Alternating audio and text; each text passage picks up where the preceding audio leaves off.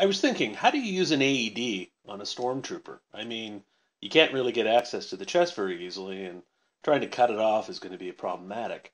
But then again, the Empire really isn't all that much on safety regulations. I really don't think they're OSHA compliant. Jedi, on the other hand, they're pretty easy access. Uh, those robes just open right up and away you go. But that Empire, it's a little bit more darker.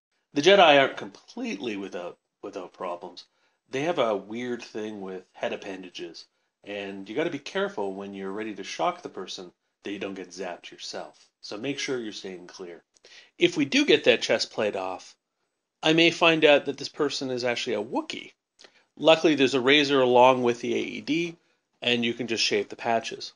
Another note if you find that they've got any accessories on that are going through that area, make sure to take those off because uh, they can cause something called arcing.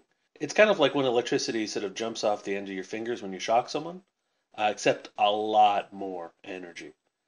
Little known fact, he actually creates that by using wool socks underneath his robes. Another thing that can lead to arcing is if you've got a really wet chest. So when you place those pads, the electricity can come right across the surface. Good way of fixing that, in the immortal words of Douglas Adams, make sure you have a towel. That metal bikini uh, can conduct electricity, along with the underwire on most bras. So we need to remove those. But this becomes a really sticky situation, and my mom's not going to be too happy. And as soon as I start mentioning nipples, people start getting really confused. By the way, relax, that's not a nipple, this is a cupcake. Regardless of gender, age, or if you are or are not the droids we're looking for, when performing CPR with an AED, treat the person with respect and try and use some crowd control. By the way, everyone has nipples except for Jabba, who coincidentally does love cupcakes. When using an AED on, on Jabba, it's going to be the same position as you're doing before. Upper upper right, lower left.